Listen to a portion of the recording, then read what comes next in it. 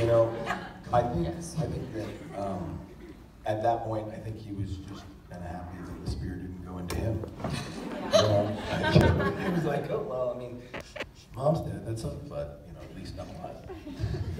Um, no, I mean, I think I think obviously he had a strained relationship with his mother anyway, and she banished him and, and all that. I, I, I mean, I think you know, like I, I love my mother, and if it was like my mother, that would have been I would have been like screaming and crying and gone crazy. But I, I think I think they had a.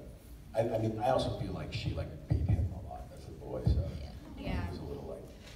yeah, she And then my next, that. my next question is for Tasya. Do you know about the sh- ship that people are talking about, Sky Spy, sorry, Spy Mechanic and Recco? What? Clearly. Everybody wants Raven and Echo to get together in space. That's awesome. That actually is awesome. Not getting a lot of argument here. we all thought that'd be a great duo, and everybody like everybody's like Becho, Bellarke, and we're not like we're like Recco. That's our ship name. That's amazing. My roommate, actually. yeah, they live together. Yeah. So. That's awesome. All right, thank you. Thank you. Hi, hi. I also have two questions, and I also want to ask about um, Queen Nia because I feel like she was uh, she was kind of um, hyped up uh, a bit in season two, and then in season three, I feel like we didn't get enough of her because she was killed right away and she was so scary. So, and, um, and so, and we know that it's like she would like find like her enemies' weaknesses and behead them, and that was probably, I imagine, something that she did herself, unless Echo was the one doing it. So it's like how, um, my question is, so for your three um, characters, it's like, how on board were they with her beheading, and could that possibly be the reason why Roan was banished, because he wasn't on board with it?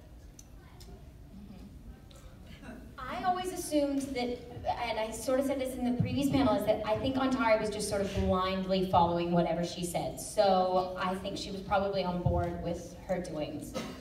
Okay. Yeah, it's the same with Echo. I think Echo spent a large part of her life um, just wanting to please Nia. Um, though, what's interesting is in season three, the way that they had written the script was that she was not happy um, about delivering the news to Mount Weather.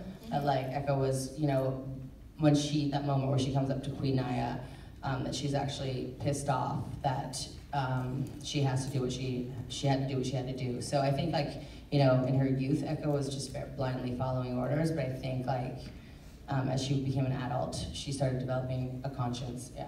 Okay.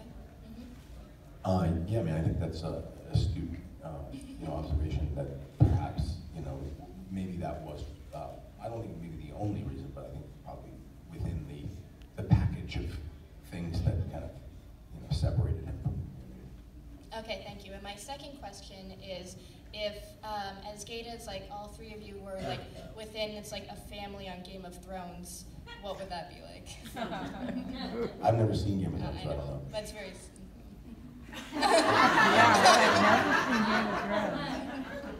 What would it be like? Because it's like, would they be like wildlings or in Winterfell? Because obviously Oh nice. man, yeah. Yeah.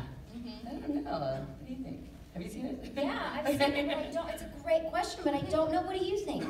Sorry. I thought of this in the scene. It's Just like, put that right around on you.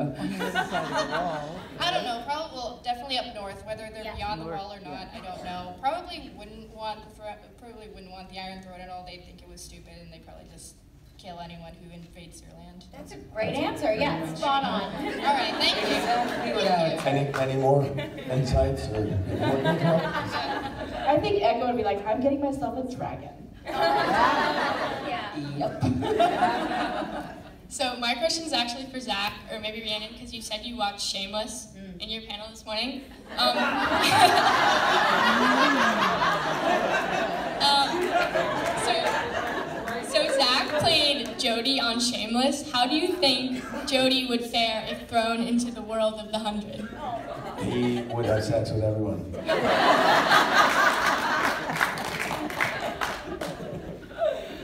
Oh my god. Yeah, he would, he would love it. He'd be like, oh, sweet. Like, you know, I, he, I think he, he, he'd enjoy Oh, it. sweet. Yeah, he'd like, like, like Jo- Jody is like, he's like a pit bull. like you know his his mind like he's sort of like I, that's why I, he's like a like a nice dog. He's, he's excited and happy about everything. So, Would he survive though? I mean, he, I mean, hopefully, Yeah. you know, he just like That's why he keeps Echo around. yeah, Yeah, just keep everybody away from him except the ones he wants to see. Yeah. He would just he would yeah. He, he that's he wants to know. He'd be the naked grounder. Yeah. Start his own tribe. Yeah, he would just. 14th clan. Yeah. What would be the name of that, that clan? What would it be? Sex for Nude crew. Sex crew. Sex crew. A fast crew. Close free crew. Thank you for your. Thank you. Hi. Um, my question is, you know how like in high school you get those senior superlatives, like most likely to get married or most likely to become famous or most, most likely to, I don't know, we had end up in prison in my high school yearbook, so that was, I didn't get it. Um, Are you asking what are yeah, they? what would your characters be? Oh, I don't know by character, but I, I was Yeah, or most, you. I was most likely to become a stripper. But not too far off. I'm like, what did you do in high school? Everything. Were you on like the dance team? You were like the cheerleader? I don't know. I just I I, I don't know. I, I guess people just thought I was a stripper. I don't know. That's amazing. Um, most likely to, what are the options? Yeah. I don't know, anything. Succeed, um, have a star on the Hollywood Walk of Fame, be in Murderer's Row, you know. Prison. Well, I mean, um, yeah, I remember like maybe most likely to rule the world. Nice. Uh, maybe most likely to Or attempt to rule the world.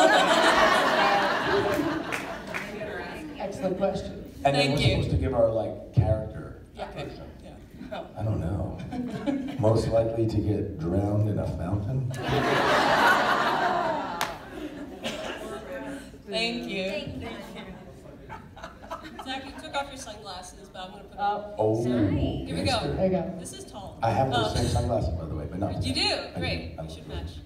Um, so first off, Azgeda Forever. So Yeah. yes, they're my favorite. Um, I think the show tends to kind of antagonize uh, Azgeda uh, because they're pinned against the protagonist. Um, but I think what the show doesn't really do is address the abuse that kind of they all three characters went through uh, with Nia. Uh, and I think we kind of see a redemption plot with Zach um, and, and um, with your character, Roan, uh, and Echo soon, I hope. Um, and um, I kind of want to see what Ontari's redemption plot would be like. Uh, so uh, I guess like the question is like how uh, what would that be? And like I guess how do you kind of talk about the abuse that happened? Well, I think The Hundred does a good job of showing how your past and your upbringing, how it affects you um, with all the characters. And I think it would have been cool to see, without the chip, obviously, to see what would have happened next for her. I would have really, really loved to see some kind of redemption because I not everyone's all bad. Um, and I think there had to have been good in her heart somewhere. It would have been nice to see. Thank you. Thank you. Hi, so I actually have two questions, if that's okay. Um, the first one is, were there any stories growing up that you guys really loved, um, that inspired you in what you do now? I'm an English teacher, so I love that question.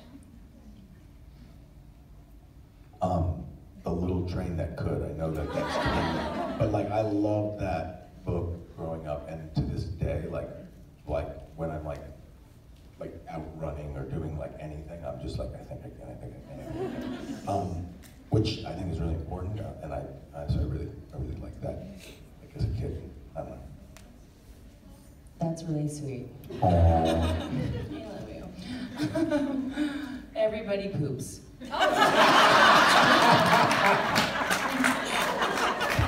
Also, uh, Inspires me every day. I might not tell that one to my English students, they're 12 and 13. That won't go over well. Um, uh, as a child, like, um, I don't know, like, uh, uh, I read a lot of French books, so I went to French immersion. So, Le Petit Prince sticks out, because we had to read that, like, every year. I've written so many papers on that book. Um, but I got more kind of inspired, I think, in adulthood with literature. Um, I think I was just like, my mom and I on Sundays, like we used to always, my mom would get like the Sunday, like the weekend paper, and like we used to like sit in bed and like read together. So like we used to read, like digest like a lot of books, um, which is a great tradition that we started. But um, I don't know if there was one in particular. I think there was just too many. Except for everybody. Mine's kind of similar to Zach's, and I remember it very well from being a kid. It's the tortoise and the hare. That story that's like you just again you just keep going. It doesn't matter at what speed you're gonna get there. Then. That's a great Thank you. one. Yeah. Um, My second question is for Zach, and that's if you remember any of your Camp Winaukee cheers when you were a kid. Oh my God. Hi, Zach. Did you go to Robindale? Uh, no, White Maria the Simone, Al's daughter. Oh, whoa. Oh my God. hey. Um, I do. I remember uh, probably all of them. Um, Could you say one for us? Yeah, let's, um, let, let's see. Let's see which ones we should do. Um, well, there was W-I-N-A-U-K-W-E, Winaukee, Winaukee, Winaukee. I mean, that was like, that was a classic one. Um, but, uh, we, we also had like the, we had the, the lunchroom cheers um, that we would do. We wanted you know we wanted like the color war leaders and all that kind of stuff. So we was like those are all weird ones. Like we had like like fried chicken, watermelon, hands in our pants. We won't leave till we get the assistant. Like we did, was like there was that one. Um, a little birdie in a tree. We did that one a lot. I mean we did all. Of, but by the way, I loved going to that camp. I had so much fun and. Um, pretty much, I think, learned a lot of life lessons there. And also, you know, I don't know, it just was awesome. I, I loved it. I wish I could just like go live in summer camp for the rest of my life. Come visit anytime. I'm up in New Hampshire. No way. Actually, I really Dad says hi too, by the Oh, way. do tell him I say hi.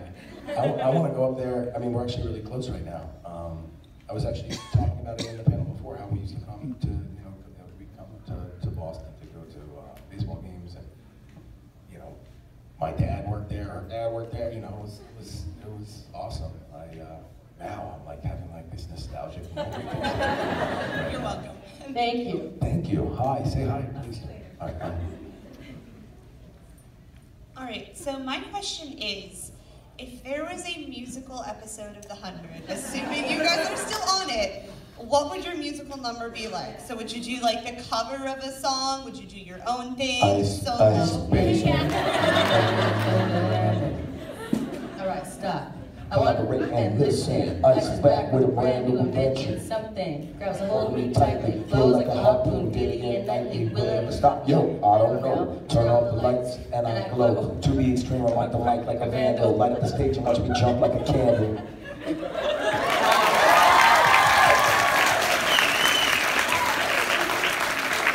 Actually, there's a video somewhere, some extra. Uh, every has the convention. I'm gonna, every convention, I'm gonna be like, if you know the extra, tell him to send us the video. One guy was like, we're like, because we were singing that a lot on set. We're always like, ice, ice, nation. Had- it was, it was the day that we had the whole. But we had like a 300 person army of Ice Nation. And so oh, like we we're all like, we're like, we should we should tape this. And we did. And one guy was like, oh, I'll tape it. And we're like, excellent, so send it to us. And he was like, yeah. And then, And and we then never the since.